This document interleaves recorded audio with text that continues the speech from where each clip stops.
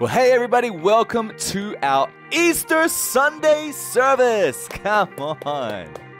So excited to be able to share today's message with you all today on this fine Easter Sunday. Now, this season, we've been going through stories of the cross, talking about the different events that led up to Jesus' crucifixion. And then today, what we're talking about is the resurrection. Yes. So it's going to be great. We're going to talk about it. But have you guys been enjoying the different stories of the cross? We talked about how Jesus had met with many different people and the events leading up to the crucifixion. Uh, we, we broke bread and shared wine. Well, not technically, we had rice crackers and uh, tea here in Tokyo, but maybe for you guys somewhere out there, you had bread and wine. And if you did, sounds like a party. But we're celebrating the amazing things that Jesus did. And last week, we talked about what Jesus did on the cross. And even on the cross, how Jesus was thinking about others. That even though he was experiencing the most excruciating pain known to man, he was still thinking and loving on the people, even the people that put him on the cross. And so, this is the Jesus that we serve, and we know as believers that the story doesn't end there. That the story doesn't end with Jesus giving up his life on the cross, curtains close, and everyone goes home. No! The story actually continues because three days later, Jesus rose again. Come on. And so that is the entire point of our faith, the entire reason we celebrate, the entire reason we have Easter is because Jesus rose again. So, why did Jesus have to die? Well, we all humans we're born into this world with a little something called sin. And unfortunately, we can't avoid it and we can't do anything about it. That's why Jesus came to this earth to die for us. It says in Romans 6:23, "For the wages of sin is death, but the free gift of God is eternal life in Christ Jesus our Lord." This is why Jesus came to this earth. This is why he was put on a cross for you and me was to take our sin away. And when we talk about the word sin, sometimes people can get a bit funny about what this word means. They think it means some major crime, like, you know, murder or, you know, any of these other things. And yes, certainly that would be in the category of sin. But sin is more simple than that. Because we as humans, we, we mess up. We make mistakes. We do things that we know we shouldn't do, or we say things or we think things that we know we shouldn't do, say, or do. I said do twice. Sin is what we call missing the mark. This is it. This is the mark. This is what I should do. I missed it. I missed it. I missed it. We miss the mark all the time. It's part of being human. And that's why Jesus had to come to this earth because because because of this sin, we are separated from the love of God. And God wanted to bridge the gap he wants us to know Him. He wants us to have a relationship with Him. And that's why Jesus came. And He came to die so that He could take the sin of the world upon Himself, like we talked about last week. And He was nailed, and He nailed our sins to the cross. And He rose again three days later. And that's what we're going to talk about today. So today's message I called Resurrection Celebration. Doesn't really rhyme, but it sounds kind of nice, don't you think? Today we're talking about the celebration of Jesus' resurrection. And so let me read this story. We're going to look at a few different stories today, and this is one of them. But I, I, chose this one to read first because I like one of the phrases here, and you'll know why in just a moment. So, Luke 24, verse 1 to 7, it says, On the first day of the week, very early in the morning, the women came to the tomb bringing the spices that they had prepared. They found the stone rolled away from the tomb. But when they entered, they did not find the body of the Lord Jesus. While they were puzzling over this, suddenly two men in radiant apparel stood beside them. As the women bowed their faces to the ground in terror, the two men asked, these are angels, by the way, the two men asked them, Why are you looking for the living among the dead? He is not here, he is risen. Yeah. I love this. This is one of the most epic phrases, one of the most epic verses in the Bible.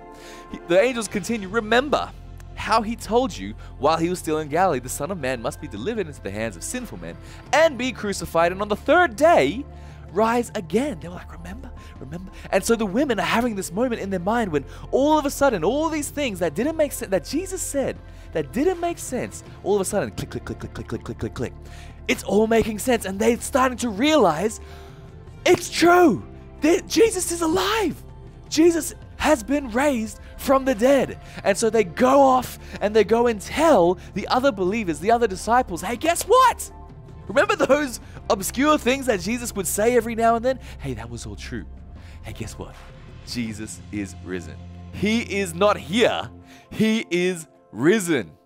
And I love this phrase. I love this scripture because our entire faith revolves around these three words He is risen. Without these three words, without Christ being raised from the dead, our entire faith is pointless. Everything is meaningless. Us being here, you listening to this video, it's all meaningless. But in fact, Christ did rise from the dead. So when you hear these words, He is risen, what do you feel? What do you think when you hear these things? For some, you may feel a sense of joy, a sense of happiness, a sense of thankfulness, a sense of celebration, because you know that Christ is risen and that Christ has saved you. But for others, maybe it's your first time watching this or, or listening to a message like this and you're thinking, He is risen. People rising from the dead? Is that even possible? What does science say about that? And maybe you're struggling in your mind to wrap your head around the concept, to be able to believe that this actually, this event actually happened. Well, we believe that the Word of God, the Bible, is true, is factual, that everything is God breathed, and that everything that happened in the Bible are real things that have happened, real historical events. And the more that time goes on, the more that people explore and discover, the more that scholars study and the more that archaeologists uncover different things in different areas around Jerusalem and Israel and that area of the world, the more that they uncover, the more it proves that the Bible is not just a book about faith, but is also a historical book. It also reveals historical events and historical facts that really did happen. Hmm, isn't that interesting that even worldly scholars and historians are now corroborating what the Bible has been saying for all these thousands of years? Isn't that amazing? And so today, we're going to unpack a few things that happened and a few things that the Bible says about what Jesus did when he rose from the dead. So, I've got a couple of scriptures that talk about the fact that Jesus did rise again. Here we go. Acts chapter 1 verse 3. It said during the 40 days after he he suffered and died, he Jesus he appeared to the apostles from time to time, and he proved to them in many ways that he was actually alive. And he talked to them about the kingdom of God. I love this. I love this that, that this is in the Bible, saying that Jesus appeared to people, not just once, but many times. Jesus appeared to people over and over because maybe once they were like, wow, that was a crazy dream. And then Jesus appears to them again. It's like, well, maybe this wasn't a dream. Maybe he is risen. You see, I got another scripture for you, and this is Paul talking in 1 Corinthians chapter 15, and he's giving an account of some of the appearances that Jesus made while he was risen and walking the earth after he was crucified. So, verse 2 uh, to 8. But verse 2 is really important. It says, By this gospel you are saved, if you hold firmly to the word I preach to you. Otherwise, you have believed in vain. And this is what we're talking about. If he is not risen, then there's literally no point of us being here today, of me speaking about this, of us even being on, you know, YouTube or wherever you're watching this from. There's no point because everything ties into these simple three words that Christ is risen. Otherwise, what's the point of believing this? We believe in this because it is meaningful and it is true. Jesus rose from the dead. Verse 3, it continues. It says, For what I received, I passed on to you as of first importance that Christ died for our sins according to the scriptures, that he was buried, and that he was raised on the third day according to the scriptures, and that he appeared to Cephas, which is Peter, Cephas, is the word for the rock. Jesus called Peter the rock, and on this rock I will build my church. To him, Jesus appeared to him and then to the 12. Now, we're going to come back to this because it's quite important. But after that, he appeared to more than 500 of the brothers and sisters at the same time, most of whom are still living, though some have fallen asleep, which means by the time this was written, some of those people had passed away. Then he appeared to James, then to all the apostles, and last of all, he appeared to me also as one abnormally born or born out of place, born out of the right time. And so, Paul is listing these different accounts of people witnessing. This is eyewitness accounts of a risen Jesus. Uh, we believe everything in the Bible is true and factual and historical. Jesus rose from the dead. I love it. And so today, I want to go over the events that happened the day Jesus rose from the dead.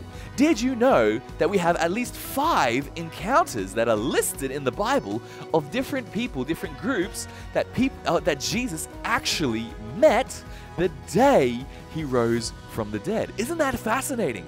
And the best part is that every single encounter that Jesus has with people there was joy, there was celebration, there was thankfulness, there was a party because he is risen. So let's jump into it. The first encounter, the first person to find out that Jesus, in fact, is alive is Mary Magdalene. And Mary has had a history. Uh, she had a tough past, many tough things in her life, and Jesus rescues her. He saves her. He delivers her from seven demons, it talks about. It talks about how Mary loved Jesus. She was so thankful to Jesus and she was broken to hear and see that Jesus was crucified. So, very early, first thing in the morning on this day, she goes to the tomb to pay her respects. And when she gets there, she realizes the stone is rolled away, the tomb is open. So she goes in, she has a look, and the body is gone. And so she starts to freak out, she starts to cry, she starts to panic, thinking, Somebody has stolen my body, my Jesus, somebody has stolen his body. Where is my Lord? And she freaks out, and boom, these angels appear. And they say to her, What are you doing here? Mary, what you, what's going on? And she's like, They've taken him. They've taken Jesus away. Please tell me where he is. And then we have this encounter. Are you ready? John chapter 20, verse 14. It says, She turned to leave and saw someone standing there. It was Jesus, but she didn't recognize him. Dear woman, I imagine Jesus with a big smile on his face. Dear woman, why are you crying? Jesus asked, Who are you looking for? She thought that he was the gardener. So she didn't even know it was Jesus. I don't know if he was like trying to like, you know, keep it secret for a moment and then do the big reveal, of she was just like so many tears in her eyes that anybody she just couldn't recognize at this time. She says to the gardener, Sir, if you have taken him away, please tell me where you have put him, and I, I will go and get him. I'll bring him back. Jesus turns to her and says one word Mary. I love it. He calls her by her name, Mary. It's such a beautiful scene. And Mary, in this moment, she realizes, she cries out, Rabboni, which means teacher. She recognizes that this is Jesus. Now, I don't know how Jesus said the word Mary. Maybe he said it in a cheeky way. Maybe he kind of whispered it was like, Mary. and then she realized, oh, Jesus. Or maybe he said it in a big way. He was like, Mary. And she realized, oh my goodness, this is Jesus. I don't know how he said it. And I also don't know how long that she was crying and holding on to Jesus. But you can tell that this was a massive, massive moment because Jesus has to say, Don't cling to me because I haven't ascended to the Father yet, but go and find my brothers and tell them that I am ascending to my Father and your Father, to my God and your God. Mary Magdalene found the disciples and told them, I have seen the Lord. And then she gave them this message. So Jesus is like, Mary, we can't be here all day. You have an important task. You need to go and tell the others that I am risen. And so she runs off crying, full of joy, full of celebration. See, it was a celebration. Jesus is alive. And then the second encounter was a group of women that then shortly followed after Mary. They came to the tomb as well. And this is the one that we just read earlier, right? They came and the angel said, Why are you looking for the dead um, or the living among the dead? He is not dead, he is risen. And then they go and find the disciples and the other believers and they tell them, Guess what? He is risen. Then we have another encounter. And this encounter is really, really cool. It's Peter. Jesus meets with Peter first. Out of all of the disciples, it's Peter, the one that was all, you know, brave and brash and like, Jesus, I'll follow you to the ends of the earth. And then, when it really counted, when it really mattered, Jesus, uh, Peter denied Jesus three times. He makes eye contact with Jesus, and it says that he wept bitterly because he knew that he had betrayed his friend, his Lord, his Savior. He, he betrayed Jesus. And so Peter would have been in the lowest moment in his life. He would have hated himself. He would be in the deepest depression. He would have been having some pretty dark thoughts, I think.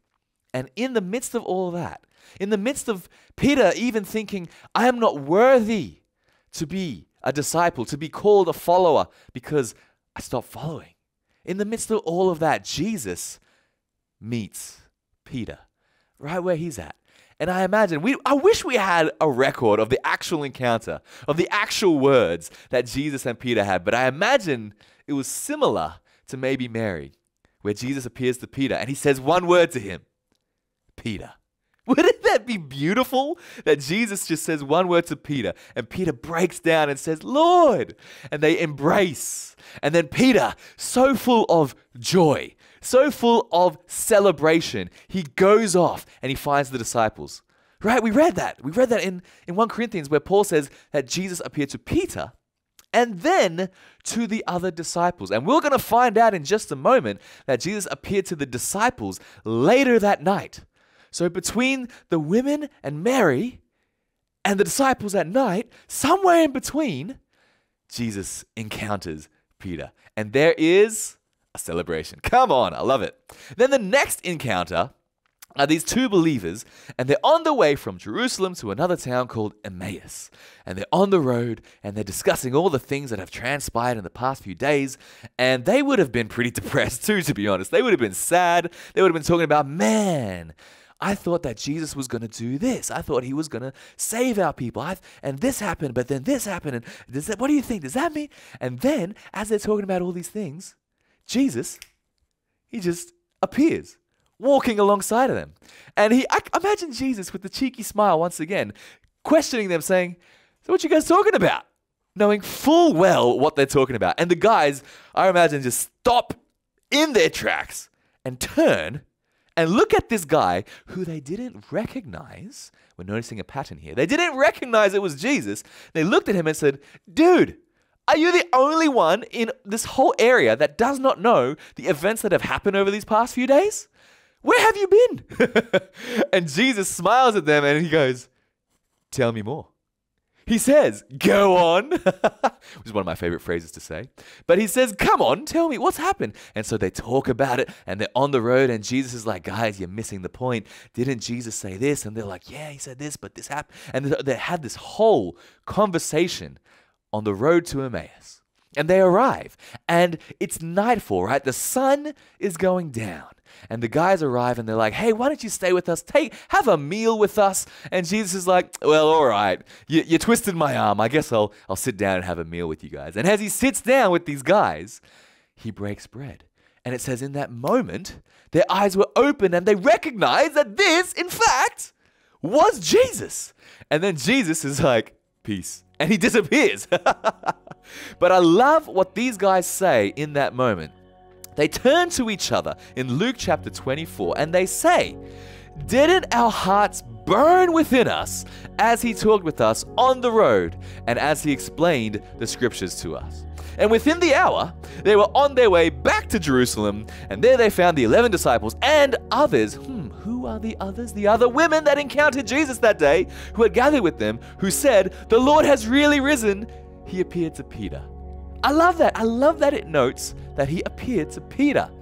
He's restoring Peter. It's amazing to see. And I imagine these guys, they come to the house and there's a big commotion. Everyone's kind of talking, and some people are like, no, he's really alive. And others are like, are you serious? We saw that he was crucified. And then these guys come along and they're like, guys, you'll never guess what happened. And they look at the dudes and like, let me guess, Jesus is alive. And they're like, yes, how did you know? And they're like, well, we, we heard it from Peter. Yeah, Peter's been going on about it for a while. And they're like, we saw him, he was on the road. And they're having this, this party, this conversation, and people are starting to believe, allowing themselves to believe. Really? Could Jesus, could he really? Really? Is he actually alive? And then the disciples at night they're all gathered in this place. They're all discussing. And Luke 24, verse 36 says, Just as they were telling about it, the guys that just arrived, they're like, Hey guys, Jesus is alive. Just as they were saying these words, Jesus himself was suddenly standing there among them. Peace be with you, he said. but the whole group was startled and frightened, thinking they were seeing a ghost. I love this scene. I love it. Because I, I again, I imagine Jesus is having fun. Every encounter, he's having fun. He's he's going along with it. He's kind of rolling with the punches, but no one's really throwing punches. But anyway, Jesus is there, and he's like, hmm, okay, everyone's here and a few of them have seen me, but some of them are still doubting. How am I going to appear? Am I going to use the front door? No, I'll just teleport into the middle of them and say, Peace be with you. and it's exactly what he does, and everybody starts freaking out. And I think that's kind of the, the reaction Jesus was hoping to have. And so, Jesus, again, with the big smile, I imagine him saying, Why are you frightened? Knowing full well that someone just teleported into the midst of them. He says, Why are your hearts filled with doubt? Look at my hands. Look at my feet. You can see that it is really me. Touch me and make sure that I am not a ghost because ghosts don't have bodies, and as you can see, I do. And as he spoke, he showed them his hands and his feet. So he's like, guys, I'm real. Look, look, you see these, you see these holes in my hands and in my feet? It's me. I'm the real deal. Come and come and touch me. Come and see that I am really real. And I'm not a ghost, that I'm actually resurrected here with you. Still, they stood there in disbelief, but filled with joy and wonder. I like that. I like that because their hearts understood, but their minds were trying to catch up. They knew in their heart that this is real, that this is Jesus, and they allowed themselves to feel joy and wonder. However, it said they stood there in disbelief. So their head was trying to catch up with their heart. And I know some of you are like that today, that you're wondering, is he risen? Is this real? Can this really be for me? Did Jesus really die for me? I believe that in your heart, you know it to be true. But for some reason in our heads, it takes us a while to catch up to what our heart knows is true. It says, Then Jesus asked them, he has the audacity to ask them, So, uh, you got something to eat around here? and so they gave him a piece of broiled fish, and he ate it as they watched. I imagine this whole scene. Jesus sits down, he's got his fish, and he's like, Yo, check this out. And he just simply eats a fish. but all the disciples are there, like, Hmm, wow, look at this. Isn't this amazing? A man is eating a fish. I just love it. I love the fun. I love the joy. I imagine that they just celebrate and praise God because He is risen. What an amazing story. This all happened on one day, the day that Jesus rose from the dead. And I believe, we believe, that the gospel, the Bible, is true, the events are real, and that Jesus is alive today. And He wants a relationship with you because I believe in a risen God. I believe in a God that is alive, a God that has changed me, a God that has saved me. Because although that I was I was born into a Christian family, I grew up hearing amazing stories, stories like this about God and about the amazing things that Jesus did. I still needed to make a decision for myself to believe in Jesus. My background didn't determine my faith. Jesus saved me because I am a sinner too. I have fallen short of the mark many, many times. I am also human. And I know many people as well that have accepted Jesus into their life and how their lives has been changed, just like my life has been changed. And I believe today that Jesus wants to come into your life and change you from the inside out. So today, on this amazing Easter Sunday, I would love to pray with you all together. So why don't you raise your hands with me and let's pray. God, we thank you so much for this Easter Sunday. God, we thank you that Jesus, you are risen, that we worship a living Savior. God, I pray that we would just be filled with joy. We're filled with gratitude. We're filled with the desire to live our life for you, to live our life on purpose, to do something meaningful for you and for your kingdom. I pray, God, that you would touch us afresh. In Jesus' name, everyone said, Amen. Amen. And lastly, like I mentioned, if you do not have a relationship with Jesus yet, I want to pray for you. If you want to believe in Him for the first time or you want to come back to Him, I'm going to count to three. I'm going to say now, and when I do, I'm just going to simply ask you to either raise your hand or make that decision in your heart. And I'm just going to pray for you. So if that's you and you want to accept this living Savior into your life, if you want to accept His true love, His true joy, true freedom into your life, then we're going to pray. Are you ready? Three, two, one, now. Why don't you make that decision to believe and accept Jesus? Amen. Come on. Well, hey, if you made that decision, can I pray for you really quick? Let's pray. God, I thank you for these amazing people making this decision. I pray that you come into their life right now in a powerful way. I pray that you would remove their sin from them and make them white as snow. And God, I pray that you would fill them with joy, fill them with a sense of celebration, fill them with a sense of excitement that you are alive, that you are risen. I pray that you would give them a hope for the future and an excitement for what you're going to do in their life. We thank you, we praise you, and everyone said, In Jesus' name, amen. Amen. Well, happy Easter to all of you guys watching online. I pray that this was a great time for you, and I'm so excited to see you all next week because we're going to have an amazing series coming up next. We'll tune in then and see you there.